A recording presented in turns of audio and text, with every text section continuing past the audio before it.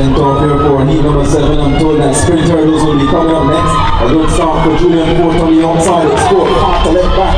It's all Julian Forte here. He's going to get the win. Very close for second. Man from Spring Tech, Chadic Hinds. Eric's there. Eric's there as well. Technically nine. The crash time for Julian Forte. Line out of lane number 8.